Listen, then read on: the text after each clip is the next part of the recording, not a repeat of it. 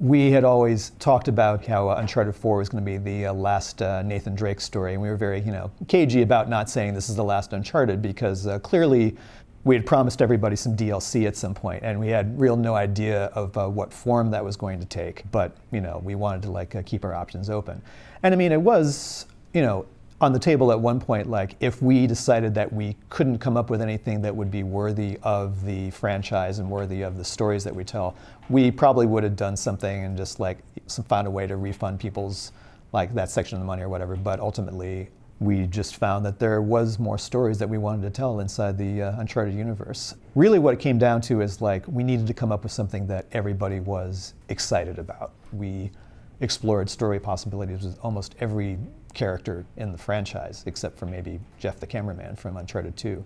I'm sorry, Jeff. What it just kept on coming back to was, you know, Chloe's a fan favorite character. We weren't able to feature her in Uncharted 4. She didn't, there was really not a place in the story for her. Here's a character with some very interesting uh, character traits, uh, a potentially interesting backstory, and a uh, dynamic that is similar to Nathan Drake's, but uh, you know her uh, moral compass is a little bit uh, less uh, directed, shall we say. What if we approach the story from the point of view of someone who is uh, on the surface uh, just seems to be after the treasure. But then we sort of like peel back the layers of the onion a little bit and start thinking like, okay, why is she after this particular treasure? And what is it about returning to India and her Indian heritage that makes this one maybe a little bit different than uh, some of the others that she's gone after in the past? And why would she team up with somebody like Nadine, who she knows to be dangerous, and everybody in this world knows everybody else. So, you know, surely she knows what uh, went down. So, just sort of getting an opportunity to explore some of those avenues with her just sounded really cool. So, I mean, you were there back in the day on Uncharted 2. Are there any elements of Chloe's character that were always in the official lore Bible you guys have for Uncharted, but haven't really been able to express until this game? Uh, I would like to see this official lore Bible. I haven't seen, I, nothing's written down. nothing's written down. When we develop our characters, we develop them only so far as we need to because you don't want to necessarily like uh, fill out too much detail about the character. You want the audience, you want the players to sort of like uh, fill in some of their uh, backstories themselves. But now, because she's front and center in this game, now we're having a chance to talk more in depth about it. Like, okay, how did she become the way she is? And how does that possibly evolve while looking after this particular treasure. One of the most fun aspects of Uncharted and writing for Uncharted is uh, doing all this uh, research. You know, with the Lost Legacy, due to the uh, reduced uh, scope of the game. It's uh, less about following a, a very specific uh, historical figure like Henry Avery or like uh, Marco Polo or something like that, like that, and more about the region itself, the uh, religion and the symbology behind the religion, and the general uh, philosophy behind the religion and how this pertains to the characters in the game. So it's a little bit less of a deep dive. You know, we don't necessarily have as much time to lay out this uh, crazy history like we did with Henry Avery. So instead, you know, it's just sort of like looking at the culture and how that culture has shaped the region and how the culture reflects, and the philosophy of that culture reflects the uh, different characters in the game. We start with a big empty corkboard and then uh, all the uh, individual uh, story beats, uh, we just start sticking them up just so there's like a good visual representation of uh, where you're going. We do things like we'll color code them like, you know, this is a story beat, this is a set piece, here is a big turning point and all that kind of stuff just so we can uh, keep track of everything. And as new ideas come up, um, we take some things down and rearrange them and things like that. I mean, God, the, the stack of rejected cards from the process of making the story is probably, I don't even know, like taller than this room.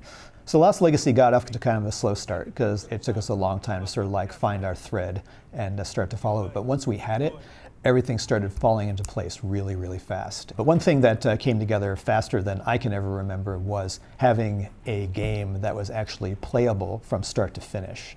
And granted, a lot of that game was incredibly rough or partially broken or just like, you know, there was barely anything except a bunch of uh, cubes and things to uh, climb on.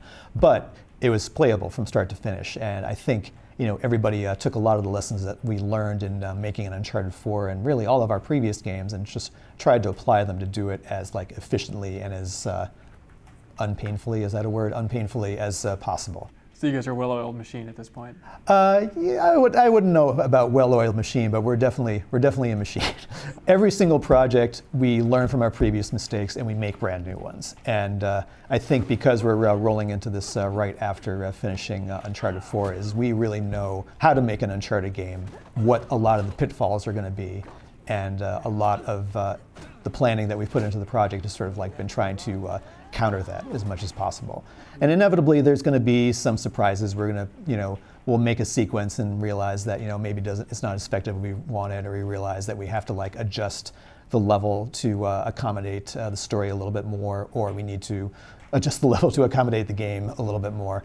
But all these things are minor versus like just having like big sweeping changes. And the nice thing about having the game playable from start to finish early is that we're able to identify those things much sooner. Whereas, you know, Uncharted 4 you know, we also put that one together, given the size of the game, fairly quickly. But even then, the game was so big and sprawling and beyond a scale of anything that we had ever attempted before that, like, sometimes identifying some of the things that needed to be cut was difficult. And that's why we ended up doing things, realizing that, oh, we're not going to have time to include the sword fight between young Nathan or young Sam. We're going to have to cut that. You know, hindsight being 2020, obviously, like, you know, if we had like caught that stuff earlier, we maybe could have made some smaller cuts sooner rather than bigger cuts later.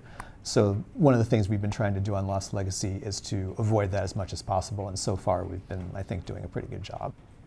Every new project is a new challenge, and every now and then, particularly when I'm writing Lost Legacy, if I'm needing a little uh, kick in the pants uh, motivation-wise, I'll go back and I'll rewatch part of an Uncharted 4, or particularly I'll rewatch part of an Uncharted 4 that's being played by a YouTube streamer, just to sort of like get the reactions.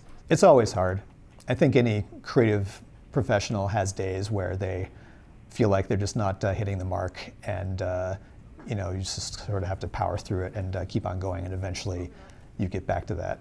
There's an illustrator and comic artist named uh, Kazu Kibuishi. does a series called uh, Amulet. He also did all the recent uh, covers for the new editions of Harry Potter, and he once wrote this thing that said like you know here's the creative process, which is you know this is going to be great. This is really hard. This is terrible. I'm terrible wait a minute, this is going to be great. it just it's just this constant thing that keeps on going and going, and that's you just sort of accept that that's part of it. And where are you at right now in that clock for Lost Legacy? Uh, right now, I'm feeling this is going to be great. If you asked me last week, I might have a different answer. But it, but you just keep you just keep on going.